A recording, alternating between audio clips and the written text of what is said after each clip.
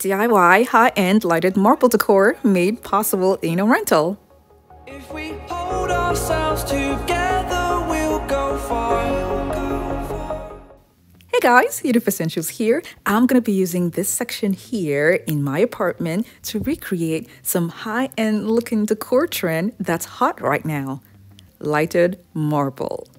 These make the kitchen area or the bar area look super pretty. So I'm going to show you guys what I did to recreate that lovely gorgeous look right here in my apartment. The first thing that I thought of was transparency, so I got this transparent screen from Lowe's.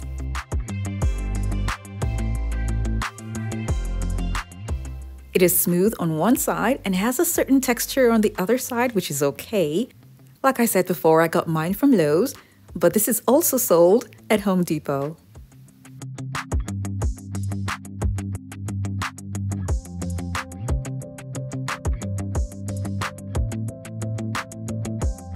Just so you know, these kinds of screens come with different textured patterns. So whichever one you choose is going to work just fine as long as it's transparent. I picked two because adding two together is going to fit the size of where I would like to cover.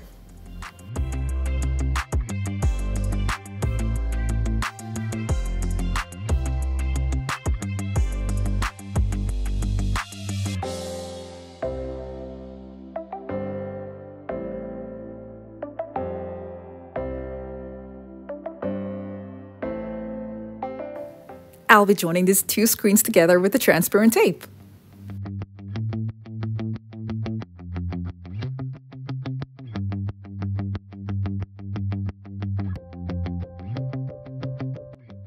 If you're new to my channel, it's so great to have you here. Now don't forget to click on the subscribe button and that notification bell so you don't miss out on any of my latest videos.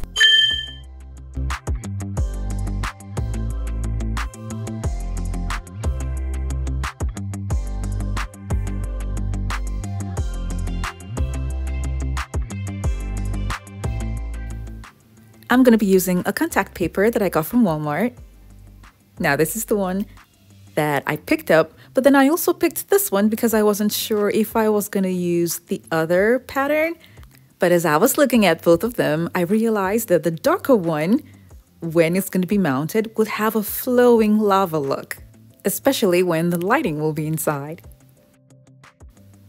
I'll be applying this to the screen and because it's not enough to cover the entire screen, when I'm done with this whole line, I'm going to be cutting just the right amount that I need to complete the bottom part of the screen.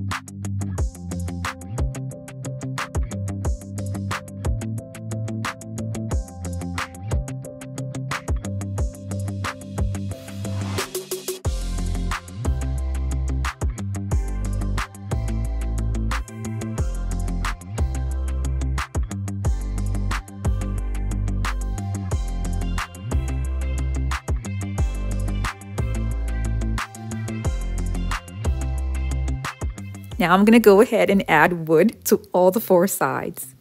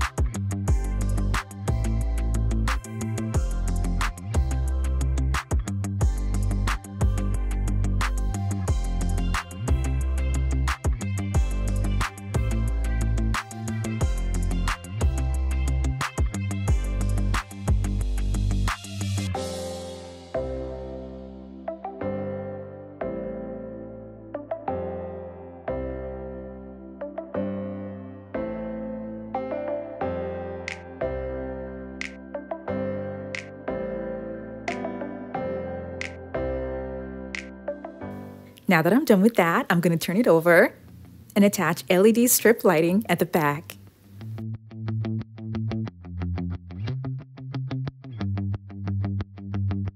I'm using the LED strip lighting that's 20 feet long. I will use just one pack of this LED strip lighting because this is the perfect length for my project.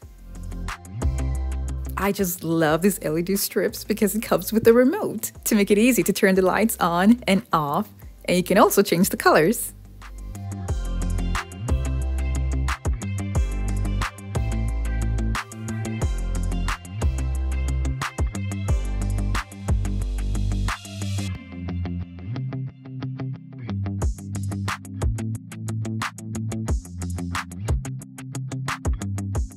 The strips are self-adhesive, which makes it super easy to attach them to the wood.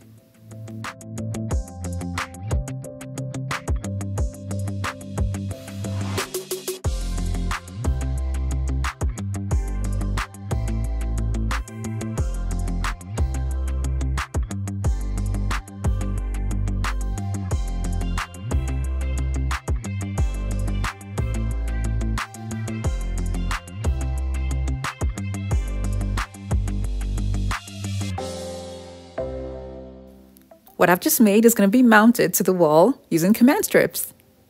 Now with command strips, it is super easy to have what you made mounted on the wall and easy to remove it as well without causing damage to the wall. What I just made is not really heavy, so I'm going to be cutting these into two.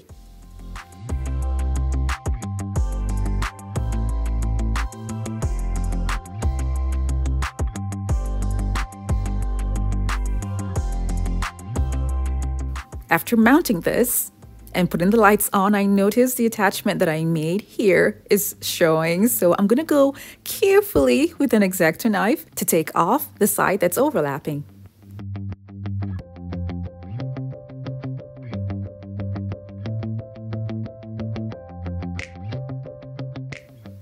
You can still see the line, but it is definitely better than it was before. The designs and the shape that I have on the contact paper is not too dark. That's why it turned out like this. Now you can see the adapter, right? Now that kind of bothered me, but from afar, it's gonna be hard to see that. The remote makes it easy to turn the lights on and off and to change the colors to suit any event that might be going on at the time, or even just simply changing the colors to suit your mood. The bar section that was bare has now come alive with lighting. Now you can use different kinds of contact paper that's going to give you a very interesting pop of designs. Now because I got this from Walmart and it is exactly what I wanted, I'm okay with this. But if you want a larger and a more popping design, just change the contact paper into something that's more bold and beautiful.